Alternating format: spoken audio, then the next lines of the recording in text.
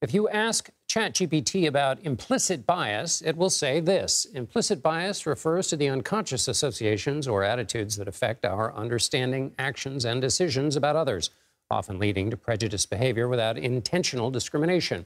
It is problematic because it perpetuates systemic inequality and undermines fair treatment, often without the awareness of individuals harboring such biases.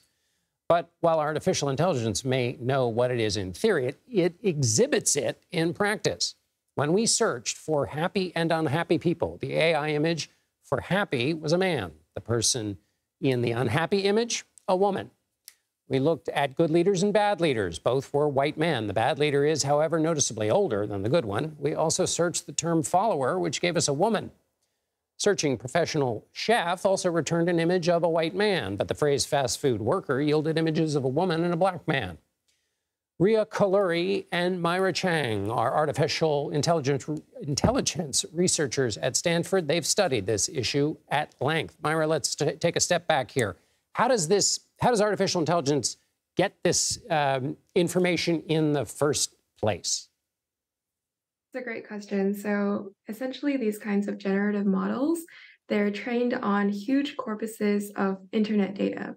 Um, so just like web data of whatever people are posting on the internet is what the model learns from.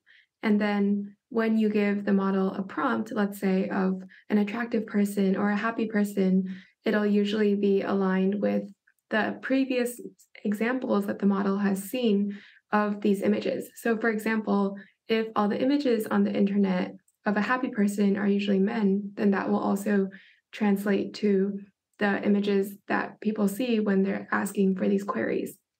Um, yeah, and so like if you have different aspects of that, then those different aspects will also be pulled from different aspects of the data. And so, Ria, what does this tell us about? So, if these images are being taken, do, are they taken from just what all of us are are populating in, say, social media, or do they tend to reflect the data set from um, more professional publications and culture and and things that wouldn't be user generated necessarily, but would be more official?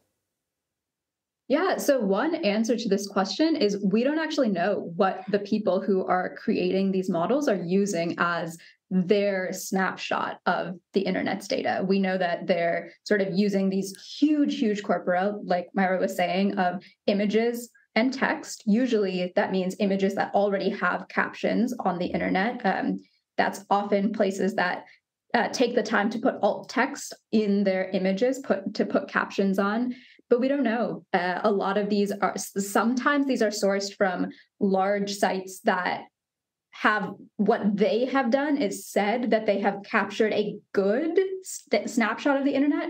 Other times we have no idea. We know some biases include that these quote unquote snapshots are usually concentrated on the US and other sort of Western nations. And we know they include pornographic content, toxic content. So clearly it's not somehow magically getting filtered out into a clean data set. And so Myra, what are the what are the implications here of this if it stays as it is?